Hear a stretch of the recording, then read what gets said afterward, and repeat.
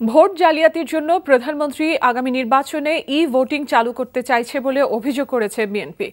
নয়াপল্টনে দলের কেন্দ্রীয় কার্যালয়ে বিএনপির সিনিয়র যুগ্ম মহাসচিব রিজভি আহমেদ বলেন, সরকার পছন্দের নির্বাচন কমিশন বসিয়ে এখন নির্বাচনে জয়ী হওয়ার জন্য ষড়যন্ত্র শুরু করেছে। ভোটারবিহীন নির্বাচনের মাধ্যমে ক্ষমতায় আসা আওয়ামী লীগ জনগণের উপর আস্থা রাখতে পারছে না বলেই ষড়যন্ত্র ও কারসাজির মাধ্যমে ক্ষমতায় টিকে থাকার চেষ্টা করছে বলেও অভিযোগ করা হয় সংবাদ সম্মেলনে। আগামী জাতীয় সংসদ নির্বাচনে জনগণ সরকারের সব ষড়যন্ত্র রুখে দেবে বলেও হুঁশিয়ারি দেন রিজভি আহমেদ। এই যে ই ভোটিংয়ের যে কথা বলছেন প্রধানমন্ত্রী, এর সার্ভেয়ারটা থাকবে সরকারের নিয়ন্ত্রণে।